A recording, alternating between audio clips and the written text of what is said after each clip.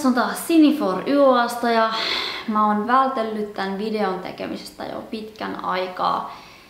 Ja tää on mulle vähän vaikea paikka, mutta mä tulin nyt siihen tulokseen, että mun on silti tää video tehtävä. Eli tällä kertaa aiheena on tapaus Rowling ja erään Potter-fanin mietelmiä tästä asiasta.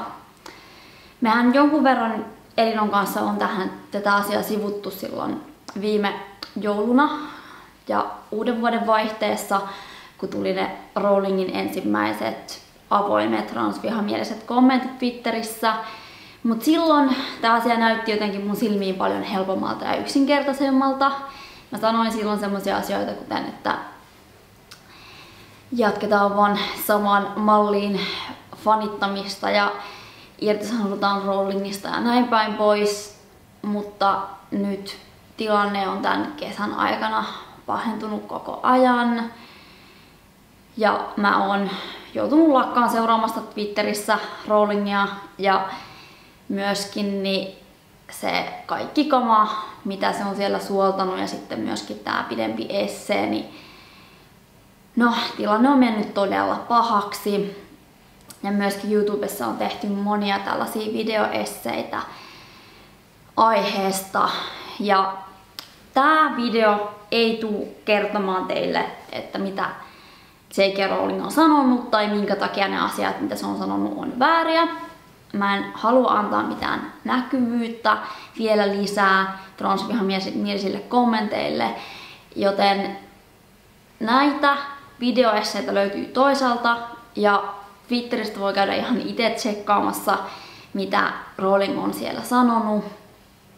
Se mitä mä vaan sanon on, että transmiehet on miehiä, transnaiset on naisia, mun sukupuoliset on mun sukupuolisia, sukupuoli ei ole binääri ja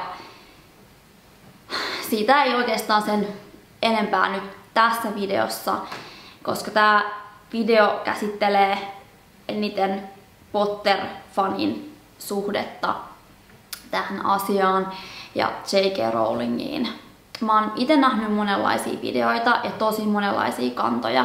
Toiset on sitä mieltä, että kirjailija on erotettavissa teoksistaan ja että voi jatkaa vanhaan malliin fanitustaan ja yrittää unohtaa koko Rowlingin. Kaikkein tiukimmat syyttää kaikkia Harry Potter-faneja siitä, ne on ikinä edes tykännytkään koko kirjoista toisilla tuntuu niin pahalta, että ne luopuvat nyt kaikista kirjoistaan ja tavaroistaan, toiset pitää ne vielä kotonaan, mutta sitten ei enää ole tekemässä vastaisuudesta lisää videoita roolingista. Mä haluan nyt käydä tätä mun omaa suhdettani tähän asiaan läpi, koska mä oon on totta puhuen ajatellut tätä tosi paljon tänä kesänä ja välillä itkenytkin. Tietenkin tää on vaan mun fanin tuskaa, ei mitään sen rinnalla, että miltä transihmisistä nyt tuntuu, mutta mä nyt haluan kuitenkin käydä tässä läpi. Mun taustahan on se, että mä oon ollut Potter-fani tosi pitkään. Mä olin itse 12-vuotias silloin, kun mä luin ekan Harry Potterin, kun oli justiinsa tullut Suomeen suomeksi. Ja siitä asti ne kolahti muuhun ihan tosi, tosi syvälle. Mun serkkujen ja mun siskon kanssa tosi paljon sellaista yhteistä bondausta just nimenomaan pottereiden kautta. Mä oon itse suomentanut mun, ensin mun siskolle ja sitten sen jälkeen mun serkuille niitä kirjoja, kun me jaksat odottaa niitä suomennoksia. Olen ollut jonottamassa kirkkonummella. Tässä on, on pitänyt monta Harry Potter-fanipaneelia erilaisissa tapahtumissa kaikkea tällaista. Ja mä oon myöskin tälle kanavalle tehnyt videon tuosta Curse Childista ja sekin on yksi syy, minkä takia mä ajattelin, että mun täytyy nyt tätä asiaa täällä käydä läpi. Voi myös sanoa, että Harry Potterit on ollut mulle se herätys, jonka avulla mä löysin fantasiakirjallisuuden, jonka avulla musta itsestäni tuli fantasiakirjailija. Joten Tää on nyt ollut tosi hankala paikka. Ja mä oon käynyt monta erilaista vaihetta mielestäni tästä asiasta läpi. Ja tosiaan niin mä oon joutunut muuttamaan monta kertaa mieltäni ja lopulta nyt tullut siihen tulokseen, että mä en enää vastaisuudessa voi mitenkään tukea rollingia taloudellisesti ja en myöskään voi antaa enää NS lisänäkyvyyttä tekemällä video, lisää videoita aiheesta tällä kanavalla. Tää ei ole niin yksinkertaista kuin mitkä, mitä jotkut tubettajat haluaa sanoa. Et esimerkiksi mä oon kuullut tällaisia näkemyksiä, että vaikka ei taloudellisesti tukisi rollingia, niin silti sillä somefanituksella voi aiheuttaa paljon pahaa lisäämällä rollingin näkyvyyttä vielä lisää. Ja no, myöskin nämä YouTube-videot, joissa ihmiset puhuu tästä asiasta trolling, transvihamielisestä kommenteissa, nämä saa ihan hirveästi näkyvyyttä. Ja osa tubettajista saa lisää katsojia, lisää sponsoreita, näkyvyyttä omille kirjoilleen tällä tavalla, että tämä ei ole todellakaan semmonen niin kuin helppo asia, missä voisi vaan vetää mutkat suoriksi. Ja mitä tulee moniin semmoisiin, jotka sanoo, että ei voi enää vastaisuudessa tukea rollingia, niin näissä aika usein puhutaan tästä kirjailijan kuolemasta ja siitä voidaanko tekijä ja teokset erottaa toisistaan. Mä oon ollut tosi pitkään sillä kannalla, että tekijä ja teokset voidaan erottaa toisistaan. Tämä johtuu siitä, että mä itse opiskellut kirjallisuustiedettä ja siellä tämä tekijän kuolema on nimenomaan tämmöinen teoreettinen kysymys, että kun pitkään tutkittiin kirjoja sillä tavalla, että aina mentiin siihen, että minkälaisen kirjailijan elämä on ja mitä se nyt aikoo sanoa tässä ja mitä se on tarkoittanut. Ja sitten tultiin sen tulokseen, että ei, sillä ei ole mitään väliä, mitä tämä kirjailija on tarkoittanut, vaikka se olisi ollut kuin hyvä tarkoitus, jos teoksessa näy näille lukijoille, niin heitetään se kirjailija siitä vaan pois ja tutkitaan sitä itse kirjaa ja sitten niitä lukijan kokemusta.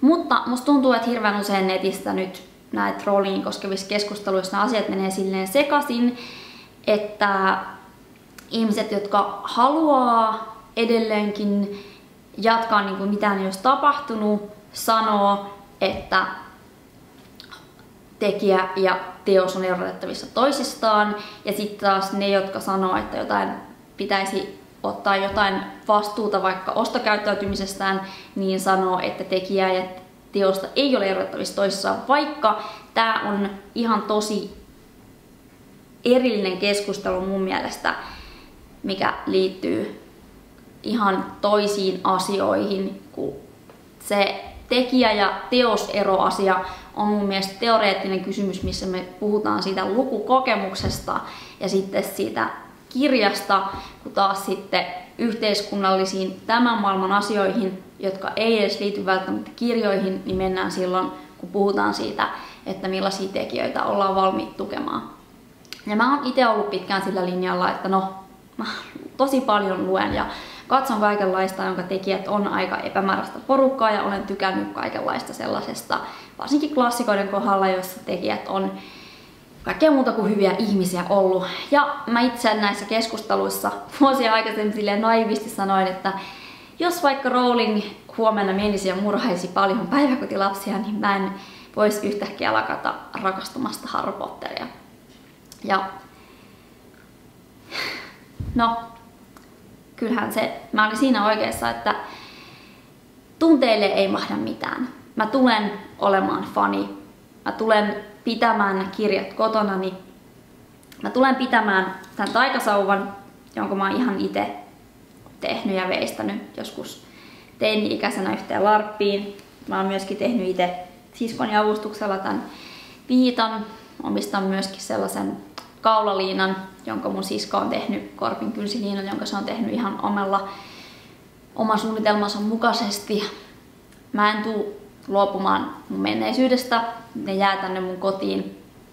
Mutta mun raja menee siinä, että Rowling tällä hetkellä käyttää sitä näkyvyyttä ja rahaa aktiivisesti kampanjoimalla transihmisten oikeusten, oikeuksien haittaamiseksi. Ja kun tämä oikeustaistelu on muutenkin kesken ja meidän täytyisi vielä parantaa tätä tilannetta, niin mä katson, että mä en tällä hetkellä voi mitenkään sit tukea rollingia näkyvyyden tai sitten kirjojen ostamisen verran. Jos mä olisin yksityishenkilö, tilanne olisi vähän eri, mutta koska mä oon kuitenkin kirjallisuus, lasten ja nuorten kirjallisuuden toimija, vaikkakin mä olen semmonen kärpäsen kakan molekyylin kokoinen toimija. Ja vois ehkä joku sanoa, että rollinglaista rahaa ja valtaa ja näkyvyyttä on niin paljon, niin mitä silloin enää väliä, mitä mä teen. Mutta mun oma tunto sanoo, että mä en, mä en voi enää yrittää, tai siis mun täytyy yrittää, että mä en vaan voi pahentaa transihmisten tilannetta enää lisää. Mutta se, mitä mä myös haluan sanoa, on, että mä ymmärrän jokaista fania, mikä tahansa ratkaisu ne tekee. Mä rakastan Harry Potter-faniyhteisöä ja jokainen, joka nyt laittaa kirjansa tai fanitavanansa piiloon tai pitää ne edelleen esissä ja syleilee fandomia ja niitä ihmisiä, joita ne on fandomin kautta saanut. Mä ymmärrän teitä ja tää ei ole teidän vika ei ole meidän vika, mitä kirjailija on nyt mennyt meille ja maailmalle tekemään. Lisäksi, jotta mä nyt sanon jotain positiivisempaakin tästä asiasta, niin Harry Potterit vei mut itse sille tielle, että mä rupesin kirjoittamaan fantasiaa. Ja mä oon nyt jo viime kesänä aloitin ennen kuin mä luojan kiitos tajusin tai kuulin mitään näistä asioista vielä. Olin naivia, kuvittelin vielä, että kaikki nämä Rowlingia koskevat huhut oli pelkkiä huhuja, niin mä aloitin kirjoittamaan uutta fantasiatrilogiaa. Ja tässä trilogiassa esiintyy sekä sukupuoli- että seksuaalivähemmistöhahmoja.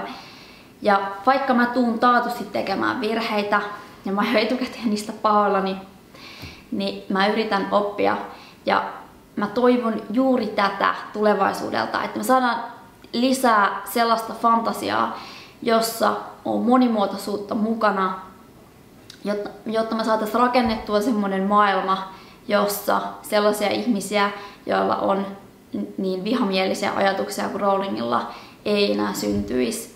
Ja jotta me saataisiin transoikeuksia ja muuta tällaisia tasa-arvoasioita edistettyä.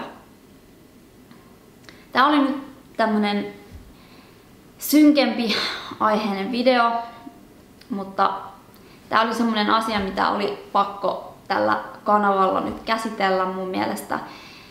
Suomessahan tätä keskustelua on ollut tosi paljon vähemmän kuin mitä esimerkiksi englanninkielisessä tubessa. Ja muitakin tällaisia matopurkkeja yökirjallisuudessa on, kuten vaikkapa Twilightit, mutta ja näitä kaikenlaisia muitakin tällaisia on, mutta ei mennä niihin nyt tänään eikä tässä videossa.